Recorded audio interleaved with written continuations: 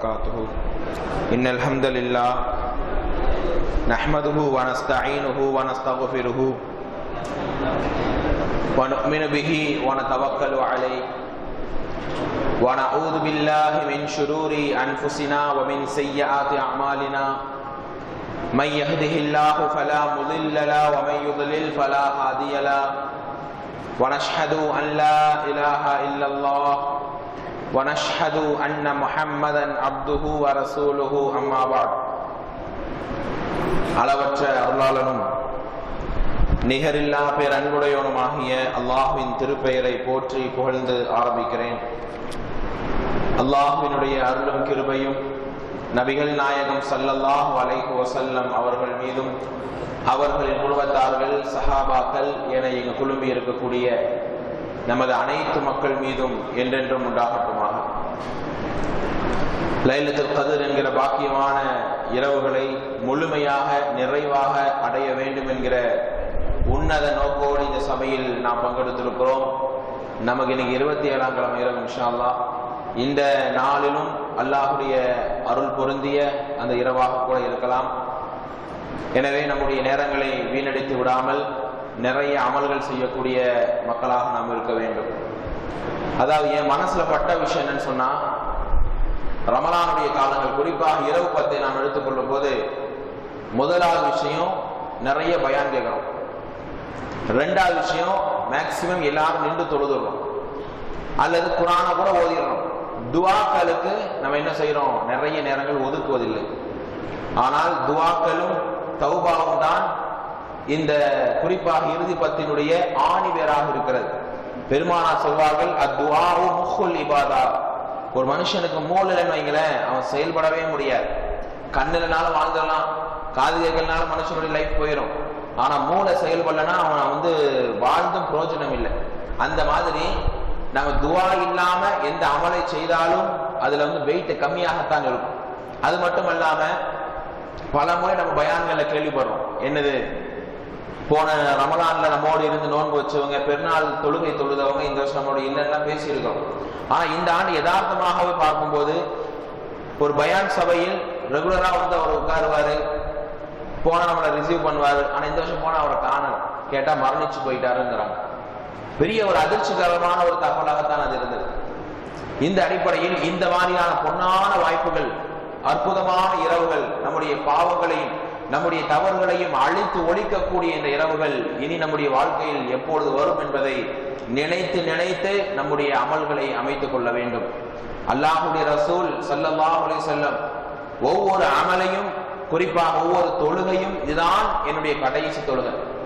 எனக்கு அசருடைய வாய்ப்பு கிடைக்காது என்று லோகங்களே தொழுகுவார்கள். அப்ப எப்படி நாம தொழுகுவோம்? எந்த அளவுக்கு நன்மைகளை கொள்ளையடிப்போம்?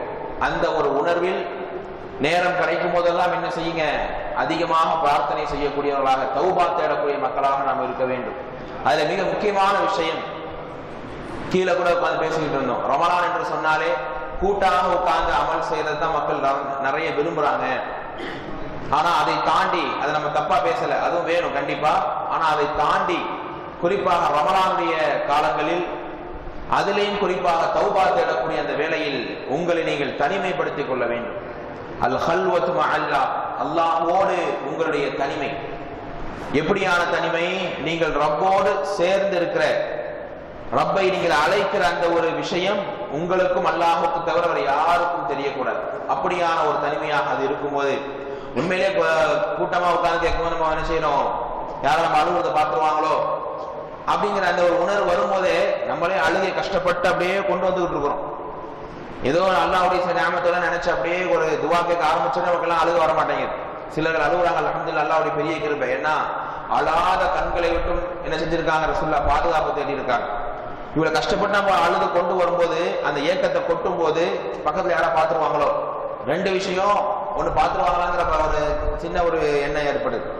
ரெண்டாவது விஷயம் இவ்வளவு அழுது துவா கேட்கிறாரே அப்படிங்கிற அந்த இஹலாஸ் பறி போயிருமோ? அப்படிங்கிற அந்த எண்ணம் என்ன செய்யுது?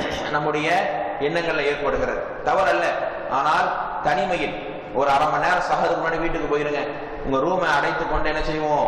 இந்த ஒரு அமைப்பில் நம்முடைய துவாக்கள் தௌபாக்கள் அமையும் போது குறிப்பாக இப்படியான பாக்கியமான இரவுகள் அடுத்த இருபத்தில் நமக்கு கிடைக்குமா கிடைக்காதா என்று யோசித்து பார்த்தால் ஒவ்வொரு நொடியும் நம்ம என்ன செய்வோம்? அல்லாஹுக்காக செலவழிக்கக்கூடிய மக்களாக நாம் இருப்போம். அந்த ஒரு உணர்வை மனதில் வைத்துக் கொள்ளக்கூடிய மக்களாக நம்ம எல்லாம் மலக்குகளின் உலகம் அப்படிங்கிற ஒரு தலைப்பை மையக்கருவாக எடுத்து அல்லாஹுடைய கிருபையினால் சுருக்கமாக சில முக்கிய தகவல்களை மட்டும் என்ன செஞ்சுக்கிட்டு இருக்கோம் இறைவனுடைய திரு- கிருபையினால் தெரிஞ்சுக்கிட்டு இருக்கிறோம். ரெண்டாவது அந்த தொடருடைய இறுதி உரையாக இன்றைக்கு மலக்குமாரனுடைய சாபம் யார் யார் மீதெல்லாம் ஏற்படுகிறது? கடந்த உரைகளில் யார் யாருக்கெல்லாம் வரக்கூடிய அருள்கள் கிடைக்கிறது மலக்களுடைய துவாக்கள் கிடைக்கிறது யாரெல்லாம் மக்கள் வந்து அதிகமாக மலக்குமார்களோட சேர்ந்து இருக்கிறாங்க எந்த பண்பு இருந்தால் நம்மை வைத்து கொண்டாடுகிறார்கள் என்பதையெல்லாம் ஓரளவுக்கு என்ன செஞ்சோம்? தெரிந்து கொண்டோம். மலக்குமாரருடைய அடுத்த கட்ட தகவல்களை அதை நாம் பதிவு செய்வதற்கு முன்னால் ஒரு இரண்டு மூன்று தகவல்களை என்ன செய்வோம்? கூடுதலாக நாம் தெரிந்து கொள்வோம். முஸ்லீமிலே வரக்கூடிய ஒரு ஹதீஸ் ஐயாயிரத்தி எழுநூத்தி ஏழு. அஞ்சு ஏழு ஜீரோ ஏழு. அபு ஹொரேரா ரலி அல்லாஹ் அவர்கள் இந்த ஹதீஸை நமக்கு அறிவித்து கொடுக்கிறார்கள். ரசூலுல்லாஹ் சொல்லி காட்டுறாங்க ஒரு மனிதர் ஒரு காட்டு நிலத்தில் இருக்கும்போது ஒரு சாதாரண ஒரு காட்டு நிலம் ஒண்ணு இல்லாத நிலத்தில் இருக்கும்போது ஒரு மேகத்தினிடையே ஒரு மனிதனுடைய குரல் கேட்கிறது. எப்படி கேட்குது? அதாவது ஒரு நபருடைய பெயரை சொல்லி இந்த நபருடைய தோட்டத்திற்கு நீ மலையை ஏற்படுத்த யா அப்படின்னு அவருடைய பெயரை சொல்லி ஒரு சப்தம் அவர் கேட்குது ஒரு ஆளு உடனே அந்த மேகம் இருண்டு போய் மழையாக பொழிகிறது. பொழிகிற மலை அங்கு இருக்கக்கூடிய கணவாய் வழியாக சென்று அந்த நீர் வேகமாக ஓடிக்கொண்டு இருக்கிறது ஓடுகிற அந்த நீரை கடந்து இவரும் போறார். அந்த சப்தத்தை கேட்டார்ல ஒருத்தர். அவரு போறார். போன அங்க ஒருத்தர் மண் வெட்டி கொண்டு அந்த நீர்களை எல்லாம் தன் நிலத்துக்குள் வரவழைத்துக் கொண்டு இருக்கிறார் அப்ப அந்த நேரம் பார்த்து இந்த சவுண்டை கேட்டவர் கேட்கிறார் நீங்க யார்? உங்க பேர் என்ன? பேரெல்லாம் ஹதீஸ்ல வரல. என்னுடைய பெயர் இன்னது அப்படின்னு அவர் சொல்றார். அப்புறம் அந்த பேரை சொல்லும் போது அவர் ஆச்சரியப்பட்டு போறார். அவர் ஒரு சவுண்ட் சவுண்டு கேட்டார்ல இன்னாருடைய தோட்டத்துக்கு மலை பொழியின் அந்த பெயரை தான் இவரும் தன்னுடைய பெயராக சொல்லுகிறார். அப்போ உடனே சொல்லுகிறார் இப்படிதான் நான் கேட்டேன்னு சொல்லும்போது அல்லாஹ் உங்களுக்கு பெரிய அருளை செய்திருக்கிறான். அப்போ இந்த விளைச்சலால் வரக்கூடிய செல்வத்தை என்ன செய்வ? அப்படின்ன உடனே இதனுடைய வருமானத்தை நான் மூன்று பகுதியாக பிரித்துக் கொள்வேன். ஒன்றை அல்லாஹுடைய பாதையில் செலவு செய்வேன் ஒன்றை எனக்காக என் குடும்பத்துக்காக வைத்துக் கொள்வேன் இன்னொன்றுடைய வருமானத்தை மீண்டும் இந்த நிலத்திலேயே அறுவடைக்காக நான் போட்டு விடுவேன். இந்த தர்மத்தினாலையும் இந்த அமல்னாலையும் தான் அல்லாஹ் உனக்கு இந்த ஒரு நன்மை தந்திருக்க கூடும் என்று அவர் சொல்லிவிட்டு சென்று விடுவார். இந்த செய்தி ரசூலா செய்யறாங்க ஒரு தனி நபருக்காக மலக்கு என்ன செய்யறாரு மழை பொழிவிக்க கேட்டிருக்கிறார். அல்லாஹ் என்ன செய்திருக்கிறான்? அந்த ஒரு அபிவிருத்தி ஏற்படுத்தி இருக்கிறான் அப்ப இந்த செய்தியை நீங்க பார்க்கும்போது இது எப்படியான ஒரு அற்புதமான ஒரு சம்பவமாக இருக்கிறது. நம்ம அல்லாஹுக்கு நெருக்கமாக ஈமானிய தாக்கத்தோடு மன வலிமையோடு வாழும்போது அல்லாஹுவினுடைய முழுமையான ஒரு அரவணைப்பு மலக்குடைய துவாவின் மூலம் நாம் கிடைக்கும் அடுத்து பாருங்களேன். மலக்குமாரனுடைய விஷயத்துல நிறைய சந்தர்ப்பங்கள் அவங்க என்ன செஞ்சிருக்கிறாங்க? பலதரப்பட்ட தகவல்கள் நமக்கு சேகரிச்சு கொடுத்திருக்கிறாங்க கொண்டு வந்திருக்கிறாங்க. அதுல தாவூத் அலிஹிஸ்லாமுடைய வாழ்க்கையில் ஒரு முக்கியமான ஒரு சம்பவம். அந்த நேரத்துல ஒரு கொடுங்கோல மன்னன் வாழ்ந்துட்டு இருந்தான் யாருக்கா தெரியுமா? தாவூத் நபி வந்து நபி ஆறதுக்கு முன்னாலேயே. ஜாலூத். அந்த ஜாலூத்தை வெட்டி வீழ்த்துறதுக்காக எல்லா மக்களும் சேர்ந்து என்ன செய்யறாங்க? ஒரு படையை திரட்டுறாங்க. இப்ப இந்த படைக்கு ஒரு தளபதி வேணும் தலைவர் வேணும்னு சொல்லும்போது அல்லாஹ் என்ன செய்யறான்? ஒருத்தரை நியமிக்கிறான். அவர் பேர் என்னது? ஆ? தாலூத். ஆ? தாலூத். அப்போ மக்கள் சொல்றாங்க எங்கள்ல ரொம்ப பலகீனமான ஆளா இருக்கிறாரு ரொம்ப செல்வாக்கிலே கம்மியான ஆளா இருக்கிற இவர் நாங்க தகவல் எடுத்துக்கணும்? ஏதாவது ஒரு அற்புதம் வரட்டும் நாங்க நம்புறோம் அப்படின்ன உடனே என்ன கேட்கிறாங்க மூசா அலி இஸ்லாம் ஹாரூன் அலி இஸ்லாமுடைய அந்த அவங்க பயன்படுத்தின சாமான்கள் பொருட்கள்லாம் உள்ளடக்கிய ஒரு பெட்டி. அந்த பெட்டி பேரு? பெட்டி பேர் என்னது? ஜாலூத்து சொன்னீங்க தாலூத்து சொன்னீங்க பெட்டி பேரு? தாபூத். அந்த பெட்டிக்குள் என்ன இருக்குது? மூசா அலி இஸ்லாமுடைய பயன்படுத்தின பொருட்கள். அந்த பெட்டியை பிரத்யோகமான மலக்குமார்ல என்ன செஞ்சாங்க? அது இருந்த இடத்துல இருந்து எடுத்து கொண்டு வந்து தாலூத் என்கிற அந்த தலைவன்ட்ட கொடுத்தாங்க. அப்படிங்கிற செய்தியை அல்லாஹ் குரான்ல தெளிவாக நமக்கு பேசுறான். ரெண்டுல இருநூத்தி நாற்பத்தி ஆறுல நீங்க பார்க்கலாம். நாற்பத்தி ஆறு முதல் ரெண்டு ரெண்டுல இருநூத்தி நாற்பத்தி எட்டு வரைக்கும் மூணு வசனங்கள்ல வருது. அப்ப கடைசியில் அந்த ஜாலுத்தை யார் கொன்றது? தாவூத் அலைஹிஸ்ஸலாம் குரான்ல வரும் கத்தல தாவூத் ஜாலூத். ஜாலூத்தை தாவூத் அலைஹிஸ்ஸலாம் கொன்றார்கள். அப்ப இந்த தாபூத் அப்படிங்கிற பெட்டியை கொண்டு வந்து கொடுக்கக்கூடிய ஒரு பணியையும் என்ன செஞ்சிருக்காங்க? மலக்குமார்கள் செய்திருக்கிறார்கள். அடுத்து தஜ்ஜாலை குறித்து நிறைய ஹதீஸ்கள் நம்ம படிச்சிருக்கிறோம். இந்த தஜ்ஜால் என்பவன் சில இடங்களுக்கு மட்டும் போக மாட்டான். சில ஊர்களுக்கு அவனுக்கு என்ட்ரி கிடையாது. மக்காவும் மதினாவும். அப்ப ஏன் அவன் அதுக்குள்ள போக மாட்டான்னு சொன்னா ஒரு ஹதீஸ் வருகிறது. அபி பக்ர தரலி அல்லாஹ் நபி சல்லாஹ் அலி செல்லம் கால லா எதுகுல் மதீனா ரோபுல் மசீஹ் அத்தஜால் லஹா யோம ஐதின் சபாத் அபுவாப் அல குல்லி பாபின் மலக்கான். மக்கா மதினா இந்த ரெண்டு ஊருக்கு எல்லையிலையும் சில கதவுகள் இருக்கு. எத்தனை கதவு இருக்கு?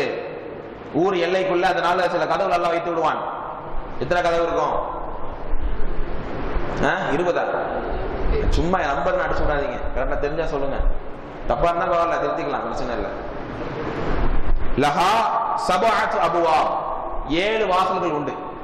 ஒவ்வொரு வாசலுக்கும் எத்தனை மடங்கு நிற்பாங்க பாதுகாப்பு அவனை வரவிடம் தடுக்க ரெண்டாயிரமா? மக்கா மதினா எல்லையில அந்த தஜ்ஜால வரவிடாம தடுப்பதற்கு அந்த நாளில் ஏழு வாசல் ஒவ்வொரு எல்லைக்கும் ஏழு வாசல்கள் இருக்கும். சரிங்களா?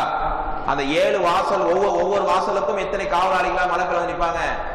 இரண்டு மலக்குகள். நம்பி கட்ட சொல்லியிருக்காரு மாஷா அப்போ இந்த ஒரு பணிக்காகவும் மலக்குமார்கள் என்ன செய்யறாங்க? பிரத்யோகமாக அமர்த்தப்பட்டிருக்கிறார்கள். அது மட்டும் இல்லாம மதினாவுக்குள் பிளேக் நோய் வரவிடாமலையும் என்ன செய்வாங்க? அந்த நேரங்களில் மலக்கள் தடுப்பாங்கன்ற கூடுதல் தகவலும் இன்னொரு ஹதீஸ்ல வருது. சொன்ன ஹதீஸ் புகாரில ஆயிரத்தி எட்நூத்தி எண்பது. One double eight zero. அடுத்து இன்னொரு ஹதீஸ பார்க்கும்போது மலக்குமார்கள் குறிப்பிட்ட ஒரு ஊருக்கு என்ன செய்யறாங்க அவங்க அவங்களுடைய நிழலால் அவங்களுடைய ரெக்கையால் நிழல் கொடுக்கறாங்க. குறிப்பிட்ட ஒரு ஊருக்கு. அது எந்த ஊரு? குறிப்பிட்ட ஒரு ஊருக்கு மலக்குமார்கள் தங்கள் ரெக்கைகளால் நிழல் கொடுக்குறாங்க. ரசூலா சொன்னாங்க சொல்லதாக அலைஹி அது எந்த ஊரு? மக்காவா? மதினாவா? ஊர்னாலே மக்கா மதினா தான் சொல்றது. வேற வேற ஏதாவது ஆப்ஷன்ஸ் இருக்கா? ஈராக்கா? கிடையாது. ஷாம். இன்னைக்கு ஷாம் எந்த நாடா இருக்கு? சிரியா ஜோர்டான் பலஸ்தீனம் லெபனான் போன்ற நாடுகள்லாம் அன்னைக்கு என்னது? ஷாமுடைய தேசமாக இருந்தது. ஒரு ஹதீஸை பாருங்களேன். அஹ்மதுல இருபத்தி ஒன்னாயிரத்தி தொள்ளாயிரத்தி நாற்பது. தமிழ் நம்பர் வர மாட்டேங்குது இருபத்தி ஒன்னாயிரத்தி தொள்ளாயிரத்தி நாற்பத்தி ரெண்டு two one nine four two என்ன வருதுன்னு சொன்னா ஒரு நாள் ரசூலாக்கிட்ட சஹாபாக்கள் உட்கார்ந்துக்கிறாங்க செய்தி பின் சாபித் அவர்கள் அறிவிக்கிறாங்க இந்த அதிச தூபால் ஷாம் தூபால் ஷாம் ரசூலா சொல்றாங்க. என்ன சொல்றாங்க? ஷாம் எவ்வளவு அருளக்கூடியது. ஷாம் எவ்வளவு அருளக்கூடியதுன்னு சொல்லிக்கிட்டே இருக்கிறாங்க. அப்ப ரசூல்லா கேட்கிறான் குல்து மாபாலு ஷாம் யார் ரசூலா ஷாம் ஏன் அருளக்கூடியது? திடீர்னு அதை சொல்றீங்கன்னு உடனே காலல் மலாயிகத்து மலக்குமார்கள் வாசித்து அஜ்னஹதிஹா அல ஷாம் ஷாமுக்கு என்ன செய்வாங்க? தங்கள் ரெக்கைகளால் விரித்து நிழல் கொடுத்து கொண்டிருக்கிறார்கள்.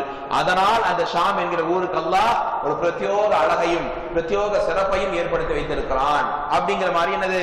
ஒரு அறிவிப்பு பார்க்க முடியுது. இது ஒரு வகையான ஹதீஸ். அதே போல நபி ஐசா அலி இஸ்லாம் உலக அழிவு நாளுடைய நெருக்கத்துல மீண்டும் என்ன செய்வாங்க? பூமிக்கு இறங்குவாங்க. அவங்க இறங்கக்கூடிய இடம் எது?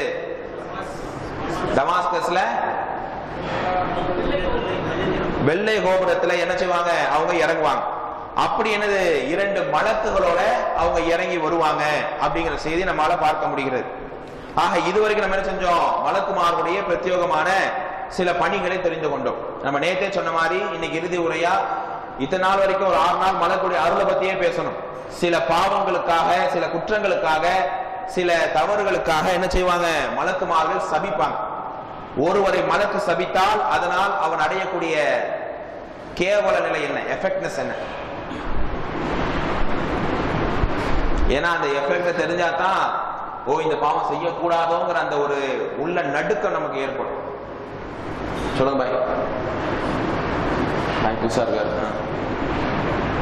வேற ஏதாவது? மலக்குகளுடைய சாபத்தால் வரக்கூடிய பின் விளைவுகள் என்ன? ஆ? கபூல் செய்துக்குவானா? மலக்குகள் சாபோட்டா ஏத்துக்குவான். சரி மலக்குகள் சபிச்சாங்கன்னு சொன்னா அதனால் அல்லாஹ் நம்மள்ட்ட நடந்து கொள்ளக்கூடிய முறைகள் என்ன? லாயு கல்லி முகமுல்லா ஃபர்ஸ்ட் விஷயம் அவர்களோடு அல்லாஹ் என்ன செய்ய மாட்டான்? பேச மாட்டான். மறுமையினுடைய நாளில் அல்லாஹ் சில பாவிகளுடைய முகத்திலையும் அல்லாஹ் முடிக்க மாட்டான். அல்லாஹ் பேச மாட்ட முடியாது. அல்லாஹ் பார்க்க முடியாது. அல்லாஹ் அவர்களை தூய்மையாக்கவும் மாட்டான். வலகும் அதாபுன் அலீம். கடுமையான தண்டனைகளையும் வேதனைகளையும் தான் அல்லாஹ் சாட்டி விடுவான். அப்படியான ஒரு விளைவை இதை விட ஒருத்த மோசமான விளைவு செய்ய முடியாது? மறுமையில் அடைய முடியாது. என்னத்தான் நரகத்தில் இருந்தாலும் கஷ்டப்பட்டாலும் அல்லாவுடைய கருணை இருந்தா மேல தூக்கி அல்லா என்ன பண்ணிடுறான். அவருடைய சொர்க்கத்தை கொடுத்து அழகுபடுத்தினான்னு நான் பார்த்தோம். ஆனா அல்லாவால சபிக்கப்பட்டவங்களா அல்லாட என்னை பார்க்காதடான்னு சொல்லிட்டாலும் எப்படி அல்லாட போய் பேச முடியும்? இந்த உலகத்துல யாராவது இந்த நெருங்கிய நண்பர்களாக இருக்கக்கூடியவங்க என்னை பார்த்து என்ன பேசாதன்னு எனக்கு எவ்வளவு வருத்தமா இருக்கும் எவ்வளவு மன அழுத்தமா இருக்கும் நாலு அடி கூட அடிச்சிருங்க என்ன பேசாம இருக்காதீங்கன்னு சொல்லுவோம். ஆனா அல்லாஹ் பேச மாட்டான் ஏன் என் மனக்கால் சபிக்கப்பட்டவன் நீ? என்னுடைய கோபத்துக்கு ஆளானவன் நீ? என்று சொல்வார்கள் அப்படியான சில தவறுகள் உண்டு. ஆனா அந்த தவறுகளை எல்லாம் தவறே இல்லாத மாதிரி ரொம்ப அசால்ட்டான செஞ்சுக்கிட்டு இருக்கோம். நாம் செய்து கொண்டிருக்கிறோம். அதுல ஒரு மூன்று விஷயங்கள் யாருக்கா தெரியுமா? மலக்குமார்களால் சவிக்கப்படுகிற மூன்று விஷயங்கள். ஆ சொல்லுங்க. தாய் தந்தையை பேணாம இருக்கிறது அப்புறம்?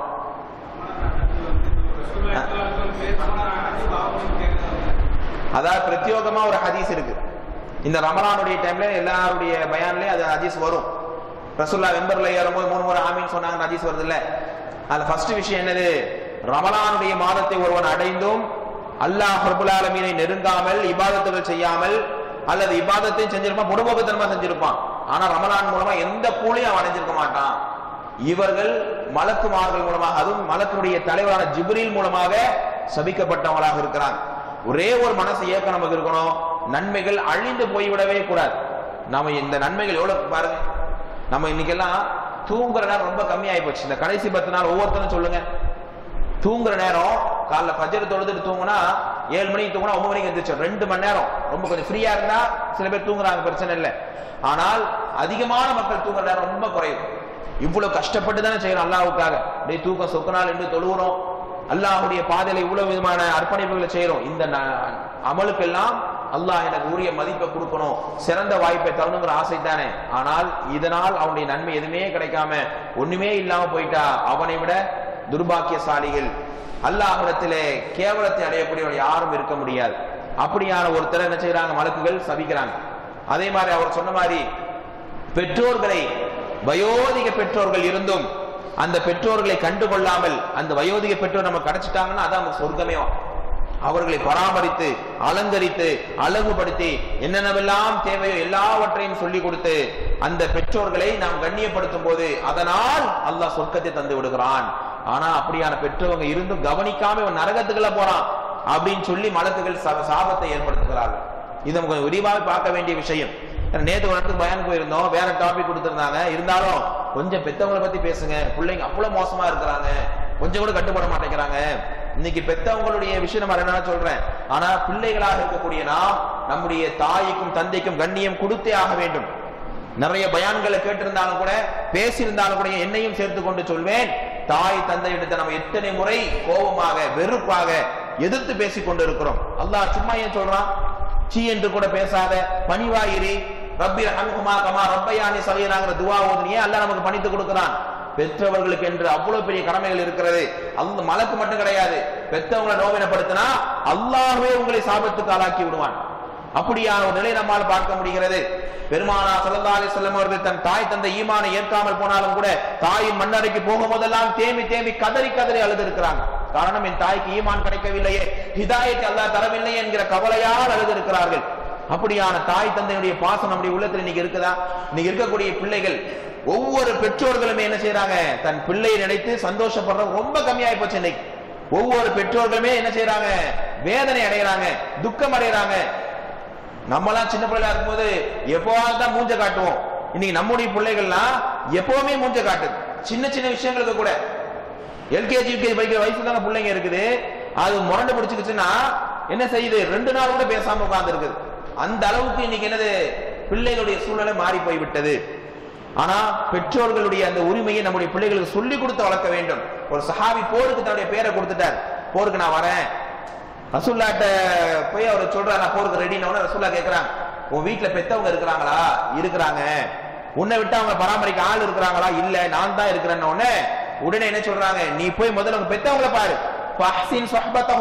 அவங்களுடைய அந்த அன்பை நீ பெற்றுக்கொள். அவங்களுடைய பணிவுடையை அழகுபடுத்து. அதுதான் உனக்கு சொர்க்கம் என்று பெருமானார் சொன்னார்கள். எத்தனை ஹதீசுவை நம்மால் பார்க்க முடிகிறது. அந்த ஒரு உணர்வும் அந்த ஒரு ஏக்கம் என்ன செய்யணும்? நம்முடைய வாழ்க்கையில கண்டிப்பாக ஏற்பட வேண்டும். தாய் தந்தையை நாம் மதிக்கக்கூடியவங்களாக இருக்க வேண்டும். விபச்சாரம் செய்யக்கூடியவங்களாக இருக்கட்டும் காபிர்களாக இருக்கட்டும் அவர்களை கூட பெற்றவர்களாக அடைந்தா கண்ணியம் கொடுக்க வேண்டும் என்று சொல்லுகிற மார்க்கம் இஸ்லாமிய மார்க்கம். உமர் இப்னு கத்தாப் ரலி அந்த ஆட்சி காலத்தில் நடந்த ஒரு சம்பவம் தான் எனக்கு ஞாபகம் வருது. ஏன்னா நம்ம விரிவாய் பார்க்க வேண்டிய விஷயம்தான். உமையா என்கிற ஒரு நபித்தோழர் அவர் யாருன்னா ரொம்ப பலகீனமான கண்ணு கூட அப்படியே மங்களா தெரியக்கூடிய ஒரு சஹாபி. அவங்க மனைவியும் முடியாதவங்க. அவருக்கு கிலாப் என்கிற ஒரு அழகான ஒரு புள்ள. ஒரே புள்ளதான் தாய் தந்தையை அவர் தான் பராமரிக்கணும். தாய் தந்தைக்கு எல்லா சேவையும் அவர் தான் செய்து கொடுப்பார். இளைஞர்கள் இந்த கிலாவை முன்மாதிரியாக நீங்கள் எடுக்க வேண்டும். அப்போ இவருடைய ஆசை என்ன? போர்க்களத்துக்கு நம்ம போகணும். அல்லாஹுக்காக மார்க்கத்துக்காக உயிரை கொடுக்கணும். ஹலீஃபாவை சந்தித்து போருக்கு பெயர் கொடுத்தாச்சு. வாப்பா அம்மா சொல்றாங்க தம்பி உன்னை விட்டா எங்களுக்கு வேற ஆதரவே இல்லை. நீ தான் எங்களை பராமரிக்கணும்னு உடனே அல்லாஹுக்காக தானே வாப்பா நான் போறேன். அனுமதிக்குன்னு சொல்லி அனுமதி வாங்கிட்டு போறாரு. ஆனா ஒவ்வொரு நாளும் இந்த கிலாபுடைய வாப்பா அம்மாவும் அழுகுறாங்க. ஏன்னா இவர் பால் கறந்து கொடுத்தால் தான் இந்த என்ன செய்வாங்க? அதை அருந்துவார்கள். ஏன்னா தாய் தந்தைக்கு என்று ஸ்பெஷலான முறையில அழகான என்ன செய்வாங்க? அவங்க பால் கறந்து கொடுத்திருக்கிறாங்க. அப்படியான இந்த தாய் ஒவ்வொரு நாள் அழுகிறார். கிலாபே நீ இல்லாமல் போன வாழ்க்கை எனக்கு மிகப்பெரிய வேதனை தருகிறது. மிகப்பெரிய கவலை எனக்கு தருகிறது கிலாவே நீ எப்பொழுது வருவாய்? நீ பாய் விரித்து கழிந்தாதான் என்னால் அதை படுக்க முடியும். நீ விரிக்காத பாயில் நான் உறங்க மாட்டேன். நீ தராத உணவை நான் சாப்பிட மாட்டேன். டெய்லி அந்த அம்மா கவிதை பாடிக்கிட்டே இருக்கிறாங்க. ரொம்ப நாள் ஆகி போர்க்களம் முடிஞ்சு வர மாதிரி தெரியல. அன்னைக்கெல்லாம் போருக்கு போனாங்கன்னா ஆண்டு கணக்கில் ஆயிரும். ஒரு நாள் இந்த உமையா என்கிறவர் வரார். ஹலிஃபா உமர் அவர்களே எங்களுக்கு என்று ஆதரவாக இருந்த என்னுடைய மகனை நீங்க போருக்கு அனுப்பிச்சிட்டீங்களே இதை நான் அல்லாஹிடத்திலே மறுமையில் நான் முறையிடுவேன். பதறி போயிட்டார் கலீஃபா. ஏன்பா நம்ம மறுமையை பத்தி எல்லாம் பேசுற? உன்னை மகன் யாருன்ற டீடைல்ஸ் எல்லாம் வாங்கி அந்த போர்க்களத்தில் இருக்கக்கூடிய நபருக்கு அறிவு அறிவிப்பு செய்து அந்த கிலாப் உடனே வர வைங்கன்னு வந்தவனை என்ன பார்க்க சொல்லுங்கன்னு சொல்றார். யாரு? உமர் இப்னு கத்தாப் ரலியல்லாஹு அன்ஹு. வந்த உடனே என்னப்பா அவருடைய வாப்பாவும் அம்மாவும் இவ்வளவு ஏங்குறாங்க? என்னதானே அவருக்கு செய்வேன் உடனே நான் என்னுடைய தாய் தந்தைக்கு பால் கறக்கிற முறையே ரொம்ப வித்தியாசமா இருக்கும். சும்மா நீங்க பால் கறந்தீங்கன்னா அது சூட சூடா இருக்கும். எடுத்தோடனே பாருங்க சூடா இருக்கும். மடி சூடா இருக்கும். ரொம்ப நேரம் அந்த மடியை நான் என்ன பண்ணுவேன்? கூலிங் ஆக்கிட்டே இருப்பேன். சில்னஸ் பண்ணிக்கிட்டே இருப்பேன். ஏன்? என் தாய் தந்தைக்கு நல்ல ஒரு குளிர்ச்சியான உணவாக இருக்கணுங்கிறது ரொம்ப நேரம் அதுக்காக வெயிட் பண்ணுவேன். குளிர்ச்சியான முறையில் ஆன பின்னால் அந்த பாலை கறந்து என் தாய் தந்தைக்கு ஊட்டி விடக்கூடியவன் நானாகத்தான் இருப்பேன். எல்லா பணியும் நான் செய்வேன் சொல்லி நீண்ட நேரம் பேசுறாங்க. அப்போ வெளியில உங்க அப்பா உட்காந்து அழுதுகிட்டு இருக்கிறாரு. நீ வந்த மேட்டர் தெரியாது. நீ உங்க வாப்பாவுக்கும் அம்மாவுக்கும் எப்படி பால் கறப்பையோ அது மாதிரி பால் கறந்து என்ன செஞ்சுட்டு வா? கொண்டு வா. வேற ஆள்கிட்ட கொடுத்து விடுறாங்க வேற ஒரு ஆட்டை ஒரு பால் கறந்து பணியாளர்கிட்ட கொண்டு வந்து கொடுக்கப்படுது. அந்த பணியாளரும் கொண்டு வந்து என்ன செய்யறாங்க உமையாவே இந்தாங்க இந்த பாலை குடிங்க உங்க அழுகையை நிப்பாட்டுங்கன்னு சொல்லி பாலை வாங்கி ஒரு வாய்க்குள்ள எடுத்துட்டு போறாரு. தேம்பி தேம்பி அழுகிறார். இது என்னுடைய மகன் கிலா பால் கறக்கிற முறையாக அல்லவா இருக்கிறது. இந்த ஸ்டைல என் மகன் தான் பால் கறப்பாரு. அப்படின்ன உடனே என் மகன் இல்லாத நிலையில் நான் எம்- எப்படி வாடுகிறேன் என்பதை அல்லாஹ் என் மகனுக்கு அறிவித்து கொடுப்பானான்னு சொல்லி கதறிக்கிட்டு இருக்கும் போதே உள்ளுக்குள் இருந்த மகன் கிலா அழுது கொண்டே ஓடி வந்து என் தந்தையே என்று கட்டி தழுவி கொண்டார். உமர் இப்னு கத்தாப் ரலியல்லாஹு அவர்கள் அழுதார்களாம். இப்படியான தாய் பிள்ளையினுடைய பாசத்தை நான் பிரிக்க பார்த்தேனே என்று வேதனையோடு அந்த மக்களை சேர்த்து வைத்த காட்சியை ஹதீஸ்கள் நம்மால் விரிவாகவே பார்க்க முடிகிறது. இப்படி அன்றைய பிள்ளைகள் இருந்தாங்க. இன்னைக்கு தாயும் தந்தையும் சாப்பிட்டாங்களான்னு கூட நீ கேட்கிற அளவுக்கு நம்முடைய பிள்ளைகள் கிடையாது. அரவணைக்கக்கூடிய விஷயம் கிடையாது. ஏதோ இதெல்லாம் நான் நான் தொழுவுறப்பா நல்ல பெரிய தாடி வச்சிருக்கிறேன் பாத்தா இருக்கிறேன் அல்லாவுடைய பல தகாத்து கொடுக்குறேன் தர்மம் செய்யறேன். இது மட்டும் போதாது. இணை வைப்புக்கு அடுத்த கட்ட பாவம் என்ன? தாய் தந்தை உதாசப்படுத்துறது அவமானப்படுத்துறது கேவலப்படுத்துறது.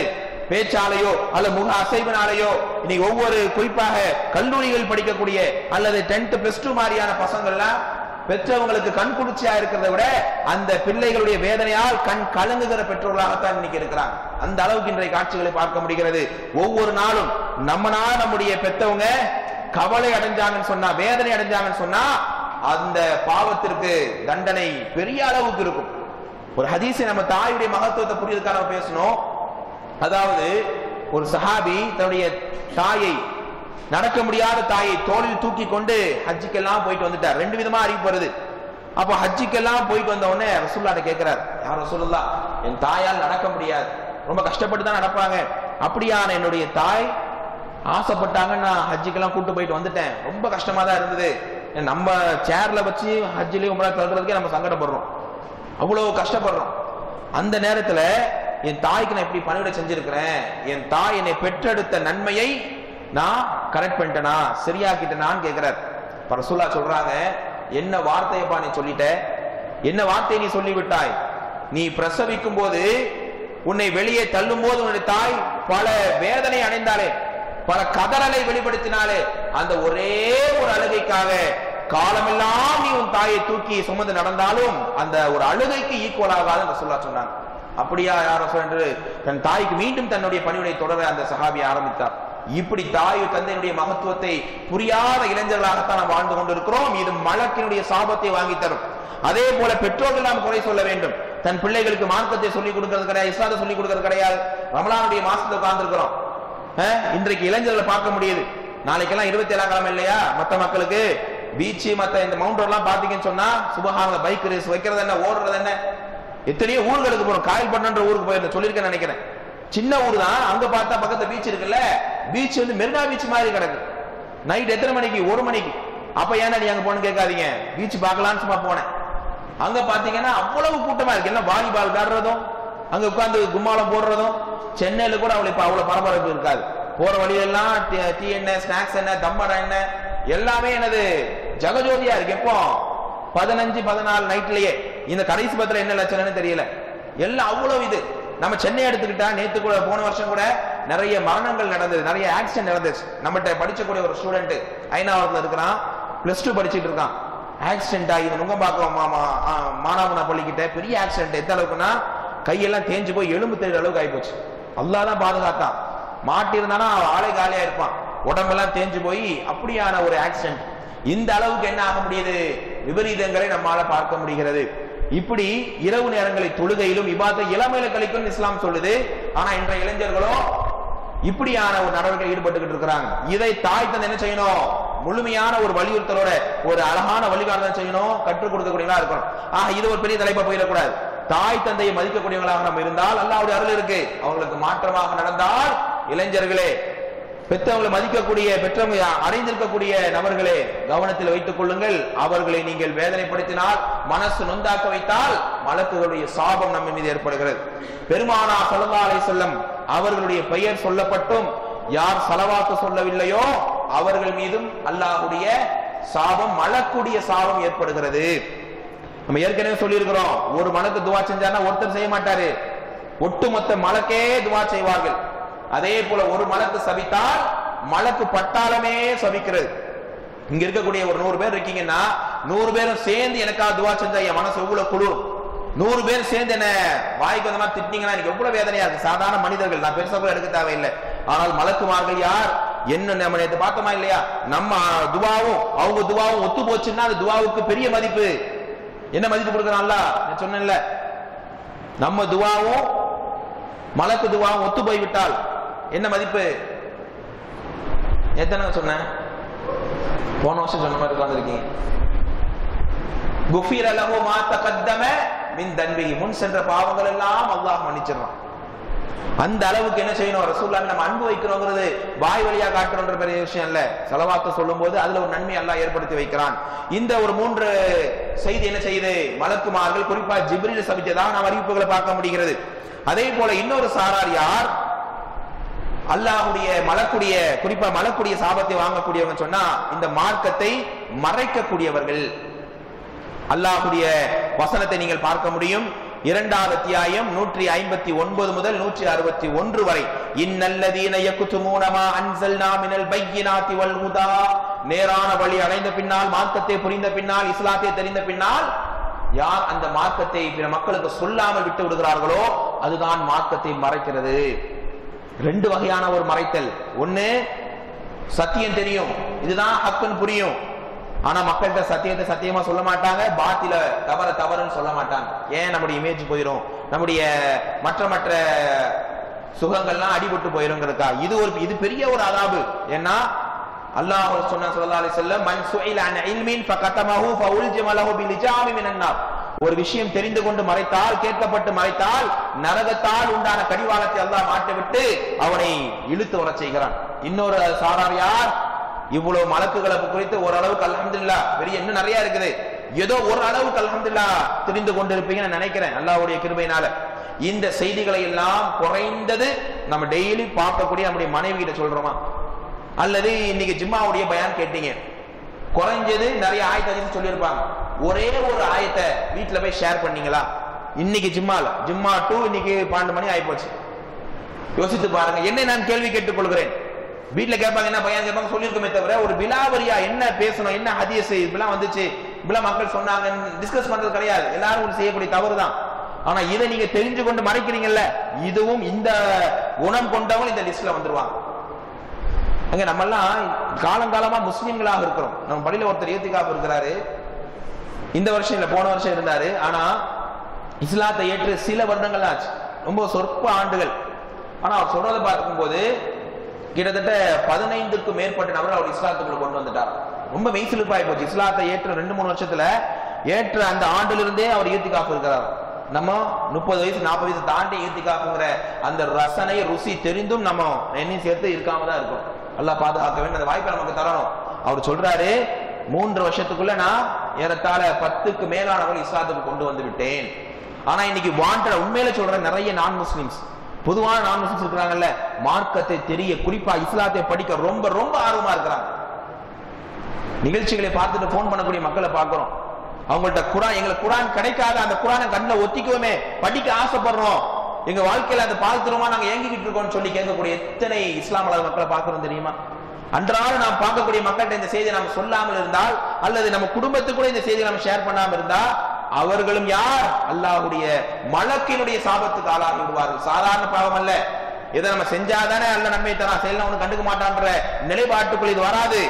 யார் மார்க்கத்தை தெரிந்து கொண்டு மறைக்கிறார்களோ ஒரு செய்தியை விளங்கி கொண்டு அதை யார் தாளு சொல்லாம விட்டுறாங்களோ அவர்களும் மலக்கூடிய சாபத்துக்குரியவர்கள். இந்த வசனத்துக்கு பின்னணியில ஒரு சம்பவத்தை நம்மால் பார்க்க முடியும். அபு ஹுரேரா அலி அல்லாஹன் அவர்கள் அல்லாஹுடைய ரசூல் சல்லா அலைஹி ரொம்ப நெருக்கமான சஹாபி. இந்த ஹதீஸ் அறிவிக்கிறதுல முதல் நபர் யாரு? இவர்தான். பெண்கள்ல ஐஷா அலி அல்லாஹ் ஏன் ஏன் அவர் முதல்ல நான் ரசுல்லா கூட இருப்பார். ரசுல்லா ஒரு விஷயத்த சொல்றாங்க.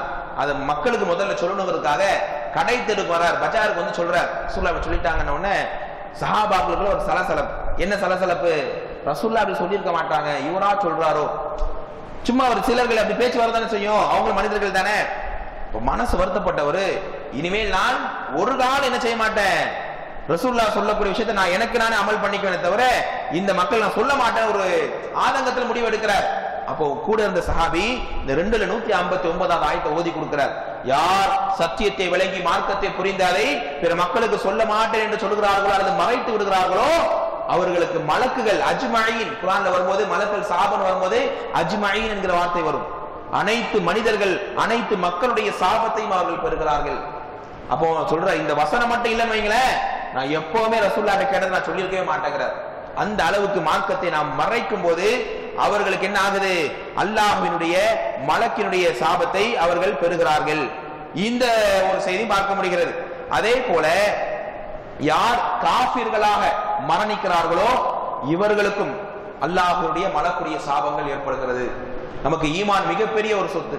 நம்மள்ட்ட இந்த தக்குவா தக்குவா நம்மளால நிறைய டாபிக்ல நீங்க பயன் கேட்டிருப்பீங்க. ஆனால் அந்த இரையச்சம் ஒன்றுதான் இரையச்சத்துக்கு நிறைய பவாயுதுகள் இருக்கு பலன்கள் இருக்கு. அது பலன் யாராவது சொல்ல முடியுமா? இரையச்சத்துக்குன்னு நிறைய ஃபவாயுதுகள் ஃபவாயுது சிறப்புகள் புரோஜனங்கள். நீங்க இறைச்சி இறையச்சம் மூலம் ஆளா நீங்க இருந்தீங்கன்னா சில முக்கியத்துவங்கள் உங்களுக்கு இருக்கு. அது யாராவது சொல்லுங்க.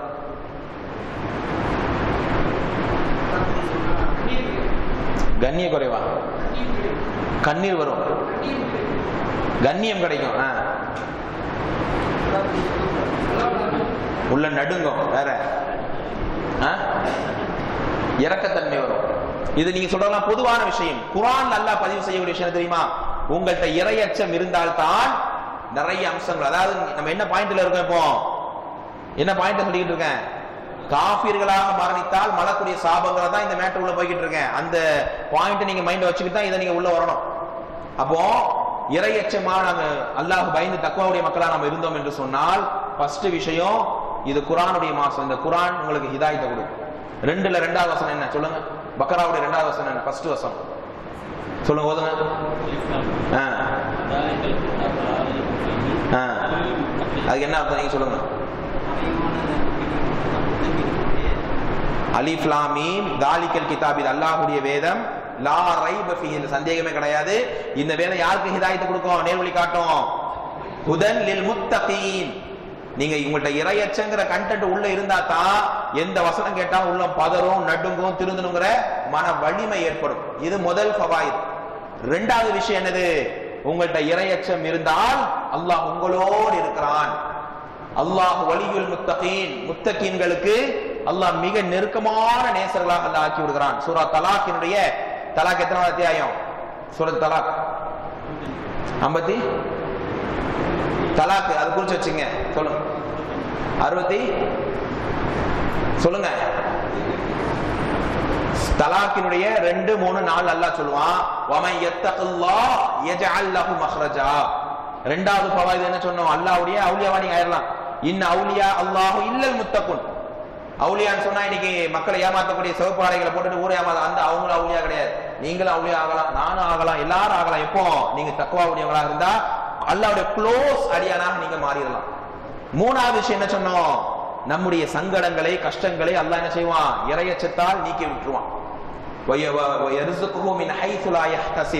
நம்ம நினைச்சு பார்க்காத வகையில அல்ல ரிசுக்க கொடுத்துருவான். திடீர்னு ஒரு பத்து லட்ச ரூபாய் பேமெண்ட் நின்று போயிடும் கஷ்டமா இருக்கும். இது நம்ம நினைச்சு பார்த்துருக்க மாட்டோம். பல பேரை ட்ரை பண்ணிருப்போம் இந்த ஆளா கொடுக்க போறான்னு உட்காந்துருப்போம் பார்த்தா அவரால் நம்ம என்ன செஞ்சிரும் அல்லாஹ் கொடுத்துருவான். சோ சங்கட்டங்கள் நம்ம நினைக்காத வகையில அல்லாஹ் தீர்த்து விட்டுருவான். நிறைய பவாயுதுகள் இருக்கும்போது முக்கியமான பவாயுது நம்முடைய தௌபா ஏற்றுக்கொள்ளப்படுவதற்கு பெரிய ஆயுதமே என்னது? உங்களுடைய தக்குவா தான். அது தாண்டி உங்கள்ட்ட இரையச்சம் இருந்தா தான் கடைசியில் என்ன வரும்? லா இலாஹா இல்லலா என்கிற களிமா வரும். திருக்குறானுடைய ஒவ்வொரு பயானி கேட்குறீங்கல்ல யா ஐயுஹல்லதீன ஆமனு தக்குல்லாஹ் ஹக்க துகாத்திஹி வலா தமூத்துன்ன இல்லா வஅன்தும் முஸ்லிமூன் ஊர் மக்களுக்கு பயப்படுற மாதிரி கிடையாது பெரிய தலைவருக்கு பயப்படுறது கிடையாது பாப்பா அம்மாவுக்கு பயப்படுறது கிடையாது அல்லாஹ்விற்கு பயப்படுவதை போல் நீங்கள் பயந்தால் அல்லாஹ் என்ன செய்வான் உங்களை முத்தகீன்களாக வாழ வைப்பான் மேலும் கலிமாவை உச்சரித்து கடைசி வார்த்தை கலிமா ஷஹாதத்தை மொழிய வைத்து அல்லாஹ் என்ன செய்வான் நம்மளை மரணிக்க செய்வான் அப்போ கடைசியில களிமா சொல்ல முடியாம இறை நிராகரிப்புல போய் ம- மரணிச்சிடறான் பாருங்க. இவனுக்கு தான் என்ன கிடைக்குது? மலக்கினுடைய சாபம் கிடைக்கிறது. இன்னைக்கு எத்தனையோ இளைஞர்களை பார்க்க முடியுது எத்தனையோ மக்களை பார்க்க முடிகிறது. அற்ப உலக சுகத்துக்காகவெல்லாம் ஈமானை தூர வீசி விட்டு சென்று விடுகிறார்கள். மூணாவது அத்தியாயத்தின் எண்பத்தி ஆறாவது ஆயத்தில் அல்லாஹ் பேசுவான் கை யஹ்தில்லாஹ் கஃபரு பஅத ஈமானிஹிம். ஈமான் கொண்டு அல்லாஹ் இவளிங்க ரசூல் எல்லாம் புரிந்து. காபிராச்சம் மௌத்தா போறான் பாருங்க. அவன் லிஸ்ட் கிடையாது இது. இஸ்லாமை ஏற்றுக்கொண்டு எல்லாம் விளங்கி கொண்டு இறை நிராகரிப்பு தேர்ந்தெடுத்து மொத்தா போயிடுறான் பாருங்க. அவனுடைய மேட்ரு இதெல்லாம். அப்போ அல்லாஹ் ரபுல் அந்த நம்பிக்கையை யார் இன்னைக்கு உலக விஷயத்துக்காக தளர்த்தி கொள்றாங்களோ காதலுக்காக சொத்துக்காக பணத்துக்காக கள்ள தொடர்புக்காக எல்லாம் நம்மை பாதுகாக்க வேண்டும். இன்னைக்கு நாளுக்கு நாள் அது அதிகமாகிக் கொண்டே இருக்கிறது. இப்படியான விஷயத்தில் இருக்கக்கூடியவர்களும் மலக்கூடிய சாபத்தை அடைகிறார்கள். டைம் ஆயிடுச்சுன்னு சில விஷயத்தை பார்த்து முடிச்சுக்கலாம். அதே போல சிலர்களுக்கு மலக்குடைய சாபம் இருக்கிறது. யார்? அல்லாஹ். அல்லாதவருக்காக அறுத்து பலியிடக்கூடியவர்கள். மார்க்கத்திலே புதுமை நுழைவிக்கக்கூடியவர்கள். அதாவது பாதையின் வழித்தடங்களை மாற்றக்கூடியவர்களுக்கும் மலக்கினுடைய சாபங்கள் ஏற்படுது அல்லாவுடைய சாபம் ஏற்படுகிறது. அடுத்து பாருங்களேன். பெருமானா சொன்னார்கள் சொல்லலாம் நிறைய விஷயங்கள் வருகிறது. அதுல மிக முக்கியமான விஷயம் என்னன்னு சொன்னா உங்களுக்கு தெரிஞ்ச ஒரு ஹதீஸ் வட்டி வாங்குறவன் திங்கிறவன் கணக்கு எழுதுறவனுக்கு மலக்குடைய சாபங்கள் ரொம்ப பலமாவே ஏற்படுகிறது. அதே போல லஞ்சம் வாங்குறவன் லஞ்சம் கொடுக்கிறவன் பச்சை குத்தி கொள்ளக்கூடியவன் இந்த புருவ முடியை சரிபடுத்தி கொள்ளக்கூடியவர்கள் இப்படி நிறைய மேட்டர் என்ன வருது? அல்லாஹுவால் மலக்குகளால் அவங்க இந்த பாவம் செஞ்சவங்க சபிக்கப்படுறாங்க திருடர்கள் சபிக்கப்படுறாங்க. அதே போல அல்லாஹ் ரபுல் ஆலமீன் கொடுத்த ஞாபகத்துக்கு நன்றி செலுத்தாமல் அதை எந்த எந்த சொல்லிக்கிறான் பாருங்க இவர்களையும் மலக்குகள் சபிக்கிறார்கள். இதுதான் மிக முக்கியமான விஷயம். அல்லாஹ் ஒரு நேமம் ஏற்கனவே மலக்குடைய பாடத்தை பார்த்திருக்கிறோம். அல்லாஹ் தந்த அந்த ஒரு நேமத்து இருக்குல்ல ரெ- மூணு பேரை சோதிச்சாங்க ரெண்டு பேர் என்ன சொன்னா எந்த எந்தன்னு சொன்னான்ல உடனே அந்த இருக்கிற பறக்கத்தை அழித்து நாசமாக்க என்ன செய்வாங்க? அந்த மலக்குகள் சாபத்தை உண்டாக்கி தருகிறார்கள். அதே போல இன்னும் சில செய்திகளை பார்க்க முடிகிறது. என்ன சொல்றாங்கன்னு சொன்னா சஹாபாக்களை யார் துத்துவார்களோ அவர்கள் மீதும் என்ன ஆகுது? மலக்குமார்களுடைய சாபங்கள் ஏற்படுகிறது. மனுஷங்க போகக்கூடிய பாதையில அசிங்கம் பண்ணி வச்சா அதுவும் சாபமாக இருக்கிறது. யூத கிறிஸ்துவர்களை சபிக்கிறார்கள். காரணம் நபிமார்களுடைய அடக்க ஸ்தலங்களை அவங்க கபர்களாக வணக்கக்கூடிய இடங்களாக எடுத்துக்கொண்டாங்க வெளியே போகும் ஒரு ஆயுதம் இருக்குது. அந்த ஆயுதத்தை வந்து சும்மா நீங்க தேவைக்காக எடுத்துட்டு போறீங்க வேற வேலைக்காக அந்த ஆயுதம் போன வேற சகோதரனுக்கு குத்திருமோ அப்படிங்கிற பயம் இருக்கணும். அந்த ஆயுதத்தை மறைக்காம கொண்டு போறவனுக்கு என்ன இருக்குது? மலக்குமார்களுடைய சாபம் இருக்கிறது. அது மட்டுமல்ல மியூசிக் இன்ஸ்ட்ருமெண்ட் வாசிக்கிறாங்கல்ல அதே மாதிரி இன்னும் சில விஷயங்களை பார்க்க முடிகிறது. என்னன்னா அந்த மியூசிக் இன்ஸ்ட்ருமெண்ட் செய்யக்கூடிய அந்த அது படிக்கக்கூடியவர்களுக்கும் இன்னும் ஒரு ஹதீசனமான பார்க்க முடிகிறது. இந்த அழகுக்காக பல்லுல என்ன செஞ்சுக்கிறாங்க? இடைவெளி உண்டாக்கிடுவாங்க. ரெண்டுமே ஒரே மாதிரி ஹதீஸ்ல வருது. இந்த ரெண்டு வேலை செய்யக்கூடியவர்களுக்கும் என்ன ஆகுது? மலக்கூடிய சாபம் ஏற்படுகிறது. உருவப்படம் வரையக்கூடியவர்களுக்கும் மலக்கூடிய சாபம் ஏற்படுகிறது.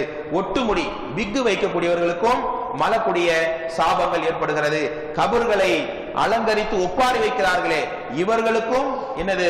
மலக்கினுடைய சாபங்கள் ஏற்படுகிறது. ஆணை போல உடை உடுத்தக்கூடிய பெண்ணுக்கும் மலக்குடிய சாபங்கள் ஏற்படுகிறது. சுபகானல்லா இந்த பட்டியல் நின்று கொண்டே இருக்கிறது. இப்ப நாம் கண்ணும் கருத்துமாக விளங்க வேண்டிய விஷயம் நாம் எப்போதும் மலக்குமார்களுடைய அந்த அரவணைப்பிலேயே இருக்கிறோம்.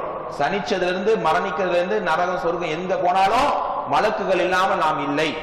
அப்படியான இந்த மலக்குமார்களோடு நம்ம பண்ணக்கூடிய இந்த பயணம் அவருடைய அருளையும் நம்முடைய நன்மைகளை அவர்கள் அல்லாஹிடத்தில் கொண்டு பொருத்தத்தோடு கொண்டு போகக்கூடிய அந்த நிலையாக நாம் அமைத்துக் கொள்ள வேண்டும் என்று சொன்னால் மலக்குமார்கள் எதையெல்லாம் அல்லாவுடைய கட்டளையின் கீழ் எதெல்லாம் விரும்புகிறார்களோ எதற்காகவெல்லாம் பிரார்த்தனை செய்வார்களோ அந்த ஒரு பிரார்த்தனையை அந்த ஒரு அமலை என்ன செய்யணும்? நாம் ஆர்வத்தோடு செய்யணும்.